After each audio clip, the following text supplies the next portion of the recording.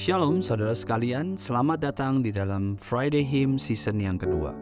We tell the stories and sing the melodies. Hari ini bersama saya William Sinatra akan kembali membahas hymn yang sering atau jarang kita nyanyikan. Supaya ketika kita bernyanyi dan mendengar nyanyian tersebut, kita memiliki pengertian di dalamnya. Tidak bisa dipungkiri bahwa kebanyakan hymn yang kita nyanyikan berasal dari komposer barat. Kebanyakan lagu di dalam buku hymn kita merupakan syair yang ditulis di dalam bahasa asing dan kemudian diterjemahkan ke dalam bahasa Indonesia. Sehingga tidak heran kita menjumpai beberapa terjemahan Indonesia yang berbeda dalam sebuah hymn yang sama. Tetapi hari ini kita akan membahas sebuah hymn yang dikarang oleh seorang konduktor berdarah Tionghoa bernama Salomon Tong. Salomon Tong dikenal sebagai konduktor dari Surabaya Symphony Orchestra.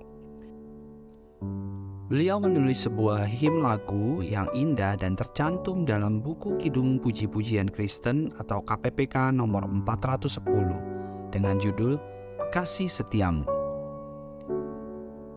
Beliau membuat him ini dengan terinspirasi dari Mazmur 36 ayat yang ke-6 sampai 11. Ya Tuhan, kasihmu sampai ke langit, setiamu sampai ke awan. Keadilanmu adalah seperti gunung-gunung Allah, hukummu bagaikan samudra raya yang hebat. Manusia dan hewan kau selamatkan ya Tuhan. Betapa berharganya kasih setiamu ya Allah, anak-anak manusia berlindung dalam naungan sayapmu. Mereka mengenyangkan dirimu dengan lemak di rumahmu. Engkau memberi mereka minum dari sungai kesenanganmu. Sebab padamu ada sumber hayat, di dalam terangmu kami melihat terang. Lanjutkanlah kasih setiamu bagi orang yang mengenal engkau, dan keadilanmu bagi orang yang tulus hati. Ayat-ayat yang barusan saya bacakan menceritakan bagaimana sifat dari kasih Allah. Disebutkan bahwa kasih Allah sampai ke langit, kesetiaannya sampai ke awan. Hal ini menunjukkan bahwa kasih Allah yang begitu besar itu tidak ada batasnya, melimpah ruah. Kasih itu juga bukan kasih yang abstrak dan tidak ada wujud nyatanya. Sebab dikatakan bahwa anak-anak Tuhan dapat berlindung, dikenyangkan, diberi makan minum, dan bagi orang-orang yang mengenal Tuhan ada keadilan. Kasih yang indah itu dirangkumkan dalam sebuah musik dan syair dari himne yang hari ini akan kita dengarkan.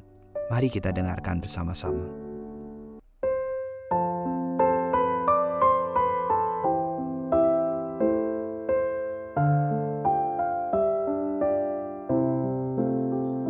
Kasih.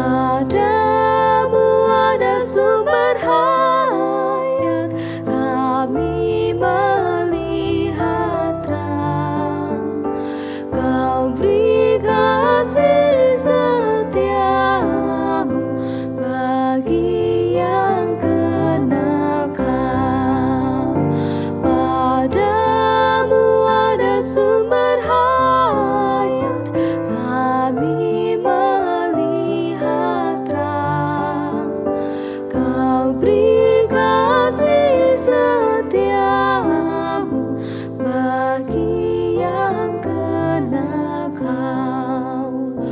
Kau beri kasih setiamu.